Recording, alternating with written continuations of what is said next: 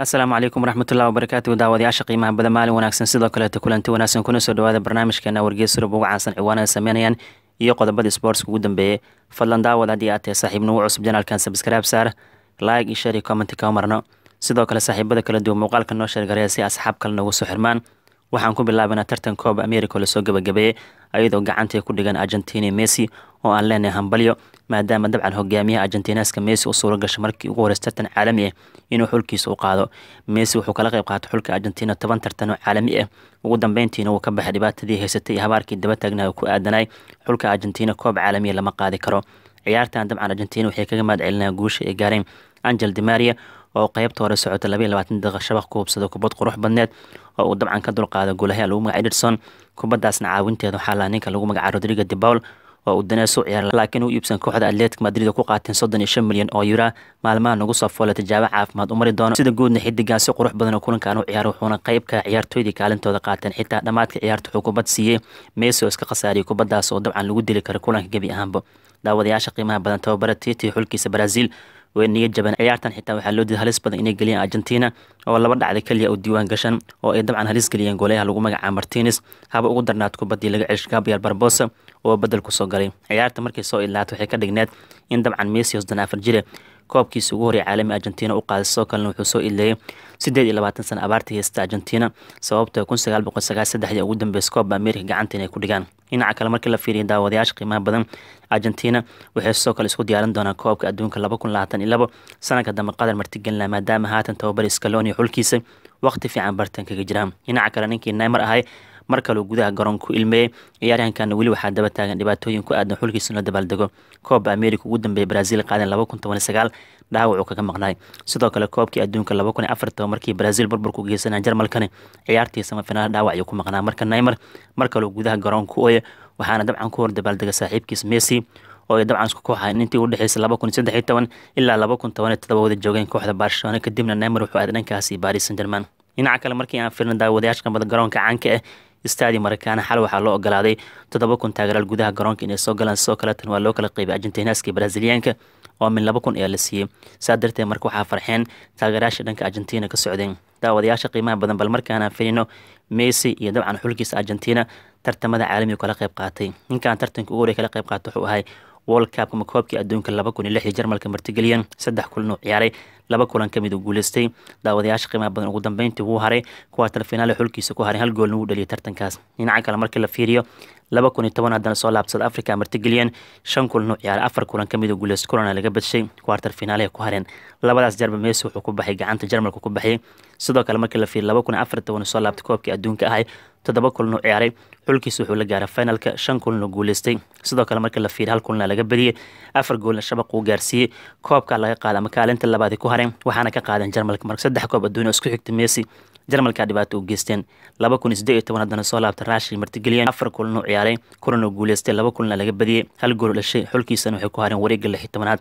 Saa darteed marka wadarta guud sagaal iyo toban kulan oo koob adduun ciyaaray messi lix goolna wuu dhaliyey labiiyo toban kulanna wuu guuleystay afar kulanna waa laga badshay koob adduunya weli gacanta muusan ku dhigin laakiin calafkiisa wuu isbedeli karaa. Haddii dabcan sanadka dambe oo uu qaado koobka qatar ay martigelinayaan xanuunada mees intaas maysa ku ekeen koobka america markii aan fin laba kun iyo todoba ay ka qayb qaatay midkii ugu horreeyay lix kulan oo ciyaaray shan kulan ka mid a xulkiisa guuleysteen kulan dabcan waa laga badiyey laba goolna wuu dhaliyay finalka nasiib daro waxaa ka qaadeen brazil. Laba kun iyo koo iyo toban soo laabtay dana messi afar kulan oo ciyaaray hal kulan oo guuleystay daawadayaasha qiimaha badan. Sidoo kale dabcan wax gool musdhalin kuwaartar finaale ku hareen argentina laba kun iyo shan iyo toban ayuu dabcan soo laabtay. Leo lix kulan oo markaan ciyaaray saddex kulan ka mid a guuleystay hal goolna ugu dhaliyay koobka waxaa ka qaadeen jili haddana laba kun iyo lix iyo toban la ciyaaray daawadayaasha qiimaha badan. Shan kulan oo ciyaaray afar kulan ka mid a guuleystay. Shan goolna ugu dhaliyay nasiib dara koobkii waa laga qaaday haddana jili aa ka qaadeen. Daawadayaasha qiimaha badan laba kun toban iyo sagaal leo lix kulan ciyaaray. Tartankii dabcan brazil martigeliyeen saddex kulan ka mid a guuleystay hal goolna ugu dhaliyay sama ku hareen.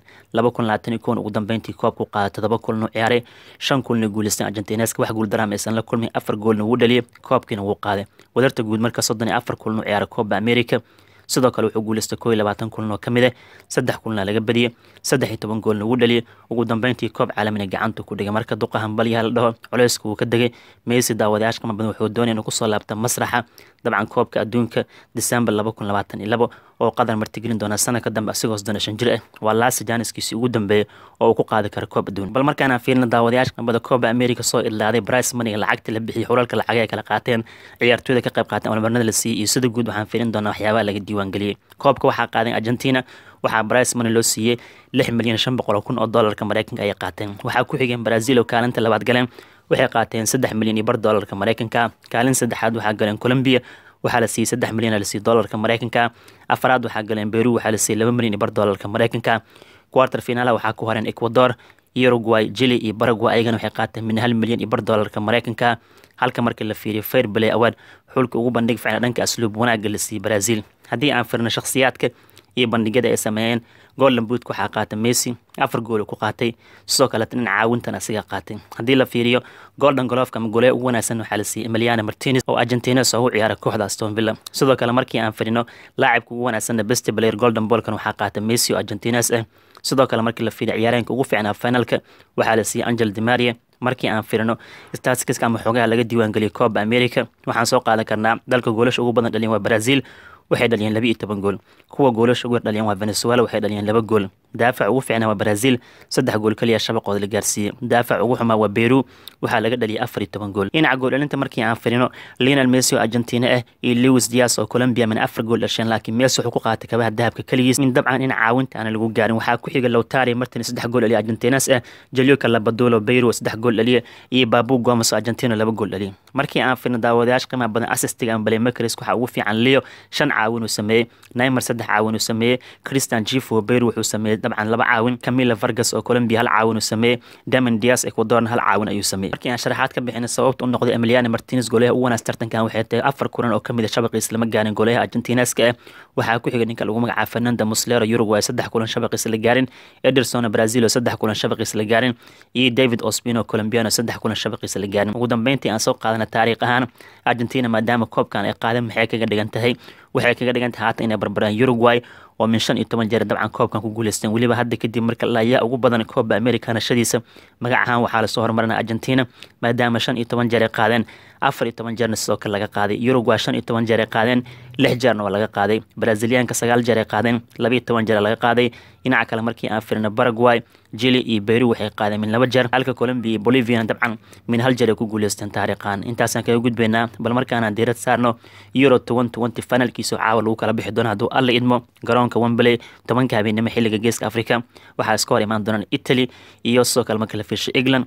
Caawa dabcan ingiriiska inkastoo ay garoonkooda joogaan laakiin markii loo administrationka iyo maamulka waxaa dabcan sida home matchka inay garoonkooda joogan u dhaqmi doonaan talyaaniga ingiriiskana waxay ku yihiin wembley martiya ku yihiin laakiin ogaada lixdan kun ee taageerayaal gudaha garoonka soo galeen intooda badan waa ingiriis macalin gaarasoodgeedna wuxuu ka dalbaday sidii libaaxii oo kale.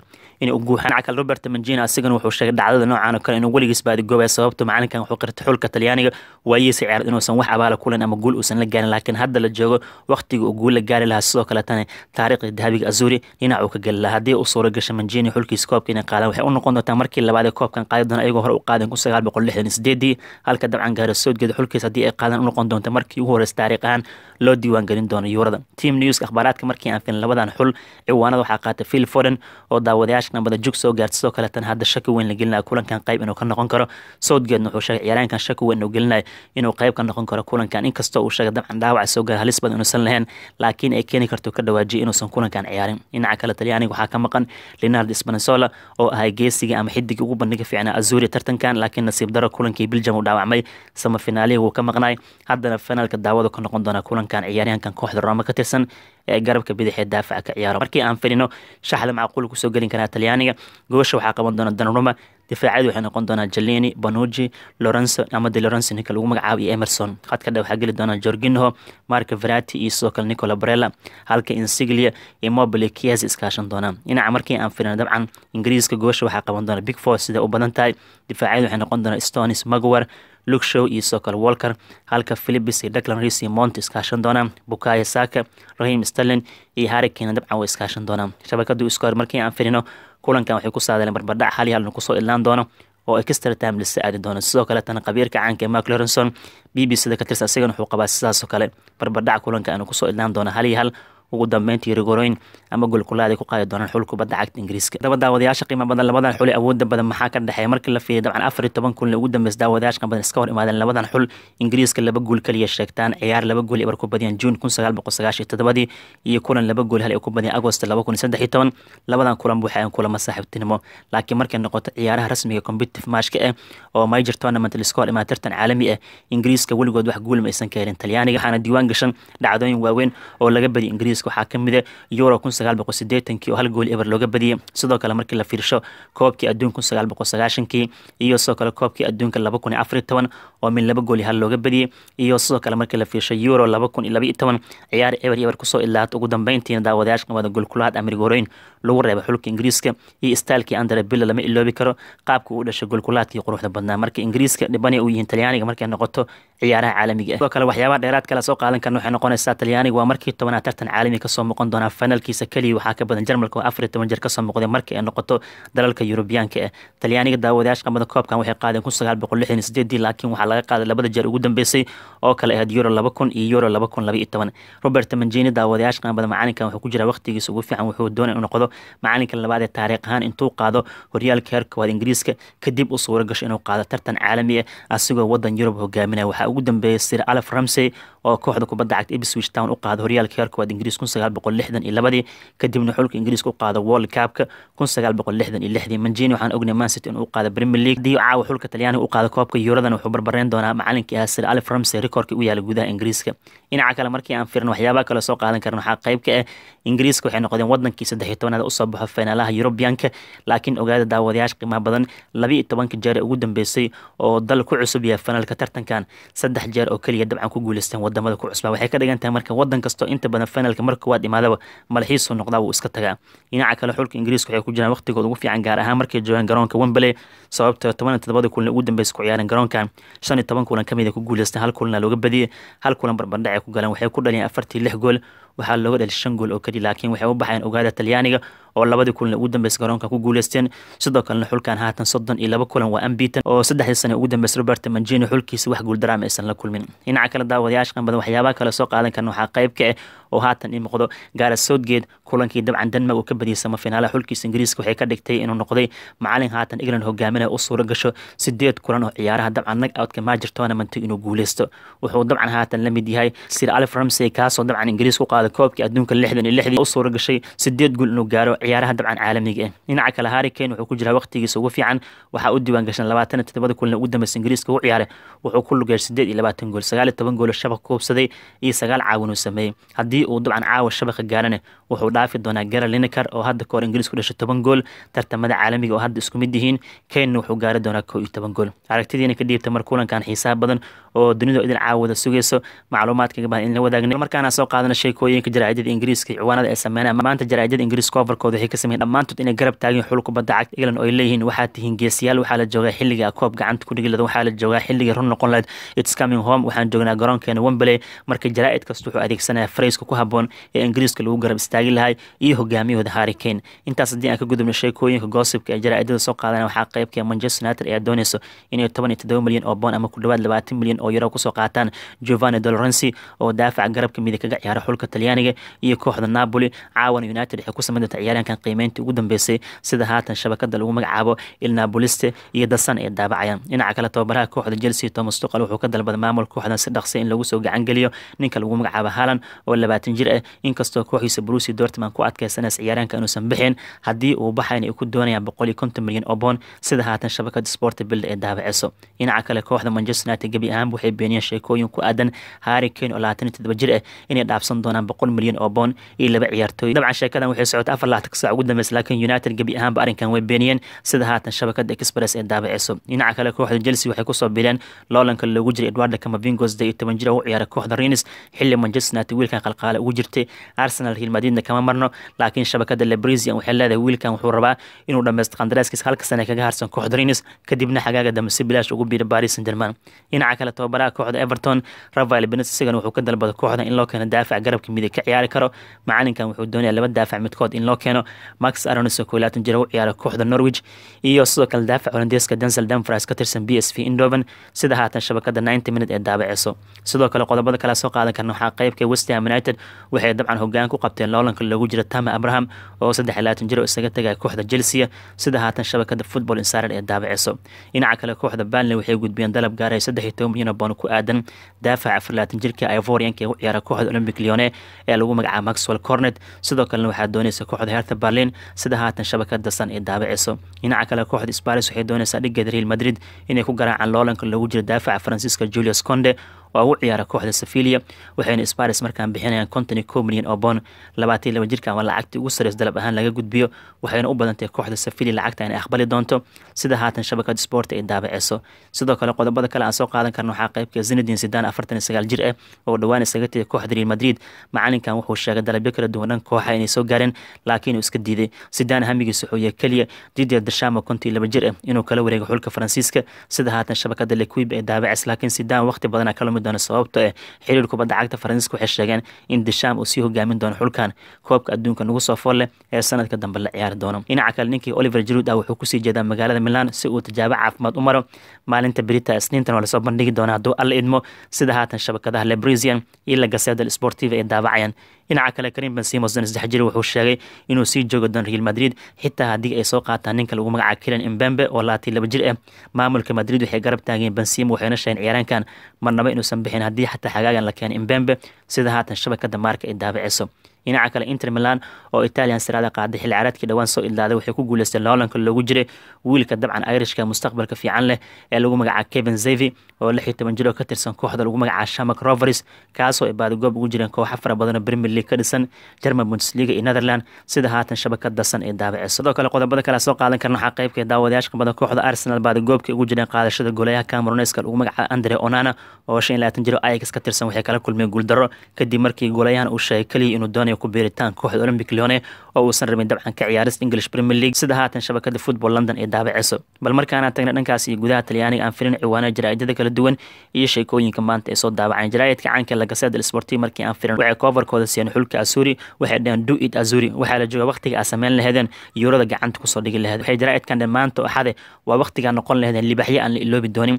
Waxay dhaheen Italy waxay la ciyaareen Ingiriiska oo garoonkooda joogaan laakiin waxay doonayaan inay ka takhalusaan oo ay gacanta ku soo dhigaan koobka. Sidoo kale waxay dhaheen dabcan Robert Mancini wuxuu ka dhawaajiyey waxaan adeegsan doonaa weerar ee difaac ma geli doono. Dhinaca kale waxay dhaheen Gareth Southgate ciyaartoyda dhiirigelin waxaa ugu filan warqad inay kaga imaada boqorada Queen Elizabeth oo garab istaagtay iyo ra'iisul wasaare Boris Johnson laakiin waxay leeyihiin jaraa'idkan annaga waxaas ma qorno ee koobkeen nooga caddahay. Sidoo kale waxay qodob ka soo qaateen daawadayaasha qiimaha badan Banucci iyo Jellini oo caawa laga rabo inay joojiyaan Harry Kane iyo Raheem Sterling. Intaas markay ka soo gudbeen waxay soo qaateen ciyaarta tenniska ee Wimbledon-ka ragga finalka oo dabcan iska imaan doona Berrettini wiilka Talyaaniga u gashay markii ugu horeysay in arko shakhsi Talyaani ah finalka tenniska boqol afartan iyo afar sano kadib ciyaaraha Wimbledon laga hadla Wimbledon Openka oo ka mid ah Grand Slamka midka loogu jecel yahay. Wuxuu ka hortagi doonaa Novak Djokovic oo world number one jaraa'idkan. Waxay leeyihiin dabcan Djokovic waa favorite ugu cadcad koobka inuu qaadi karo laakiin waxaan ka rabnaa ka dhawaajin wiilka history inuu sameeyo. Ciyaartan bilaaban doonto saddexdii afartan shan galabnimo xilliga geeska Afrika waana kulan xiiso badan oo guuleysta heli doona Wimbledon. Xilli Talyaaniga ay doonayaan taariikh inay sameeyaan.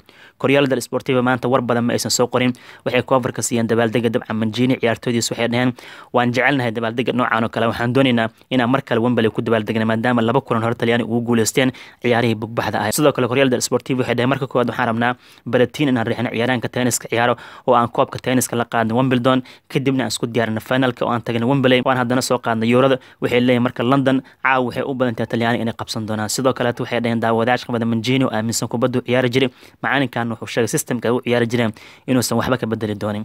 Haddii aan firno Tutti Sportivo ayagana sheekooyin badan ma aysan qorin ayagana waxay coverka u qaybeen xulka Talyaaniga iyo sidoo kale tenniska Berrettini oo ka hortaga Novak Djokovic waxay dhaheen for you for us. idinka idinla jirna ka dhawaajiyeen waxay dhaheen marka koowaad Wimbledon Open gacanta ku dhiganaa Berrettini riixana si kaga badiyo ninka laga badi karo Novak Djokovic kadibna waxay dhaheen Wembley aan tagaynaa oo Italy Ingiriiska waxaan Ingiriiska oo boqoradooda iyo kale ra'iisul wasaarada garab taagan inaan koobka soo qaadno marka waxay dhaheen London waxaa iskale Azuri ka dhawaajiyeen aragtidiina ka dhigtay raadada Talyaaniga oo si weyn dalkooda u garab taagan haddii noqon lahayd tenniska iyo haddii noqon lahayd kubadda cagta. Bal markaana soo qaadana daawadayaasha qama jaraa'idada gudaha spain iyo sheekooyinka daabaceen jaraa'idka caanka ee maarka waxay kofarka hoosiyeen koobka yurada caawa loo dagaalama waxay dhaheen caawa. Yurub waxay baadigoob ugu jiraan inay doortaan ama ay iclaamiyaan boqorkooda. Waxay leeyihiin waxaa iska hor imaan doonaan oo wembele isku qaban doonaan england iyo italy waxayna ingiriiska baadigoob ugu jiraan markii ugu horeys koobkan gacanta inay ku dhigaan. Halka manjini xulafadiis ay doonayaan markii labaad taariikh ahaan koobka inay qaadaan. Waxay leeyihiin harry kane rahim sterling oo ka hor imaan doonaan banuji jalini ayaa ciyaartan caawa loo daawan doonaa dagaalka london ka dhacayo haddii aan firin shabakada es egan waxay kofarka hoosiyeen labada hogaamiye jalini iyo sidoo kale harry kane. Waxay dhaheen yurub oo caawa dooran doonta boqorkooda. Waxay dhaheen ingiriiskii waxaas ka hor imaan doonaan italy oo wembele ku dagaalami doonaan lixdan iyo lix kun taageerala gudaha garoonka soo geli doonaan. Sidaa darteed waxay dhaheen ingiriiska waxay dooneen inay ku guuleystaan koobkii ugu horreeya caalami ah tan iyo sanadii kun sagaal boqol lixdan iyo lixdii. Halka talyaaniga ambitan ay yihiin soddon saddexdii kulan ugu dambeysay. Sidoo kalena ay rabaan markii labaad taariikh ahaan yurada gacanta inay ku dhigaan. Shabakada caanka mundo deportivo markii aan firino waxay hambalyo u direen messi argentina oo ugu dambeyntii koob america qaadeen. Sidoo kalena waxay dhaheen leo wuu ka har habaarkii ku aadana xulkiisa koob uma qaadi karo. Waxay dhaheen aan isku diyaarino messi oo markii toddobaad ku guuleysan doona banonide oraha sanadkan. Sidoo kale waxay jaraa'idkan ka hadleen qodob ka soo qaateen macalin kuman oo diyaar u ah in la keeno saul nigos sidoo kaletana anton grisman laiska fasaxo. Si labadan ciyaartooy la isku dhaafsado inkastoo lee dabcan go'aanka ugu dambeeya grisman lahaan doono haddii kooxdiisa hore uu ku biirayo xilli haatan dalab uu ka helaya kooxda manchester city oo ciyaaryahankan dooneyso gacanta ku dhigto. Sidoo kale mundo deportivo waxay qodob ka soo qaateen finalka caawa ay dhaheen caawa tobanka habeenimo xilliga geeska afrika waxaa la heli doonaa guuleyste yurub oo idil horkici doono. Sidoo kaletana waxay dhaheen ingiriiska iyo talyaaniga laba xulo awood badan iska hor imaan doonaan. Jaraa'idkan waxay sidoo kale ka hadleen kiran embembe oo ay leeyihiin wuxuu diiday qandaraas kordhinta paris senderman waxayna u badantay inuu ku biiri doono kooxda real madrid. Oo xagaagan qiimo jaban ku qaadanayso ama xagaaga dambe si bilaash ku qaadan doonto. Daawadayaasha qiimaha bada guud ahaan barnaamijkeen ayaa wargeys surub ugu caansan ciwaanada sameynayaan iyo sidoo kale qodobadii sports ugu dambeeya intaasaan ku soo celinana fadlan firkiina ka dhiibta qodobadii aan soo qaadanay. Haddii aad tahay saaxiib nagu cusub janaalkan sabskaraab saar like iyo share iyo comment kama marno. Asalaamu calaykum waraxmatullahi wabarakatu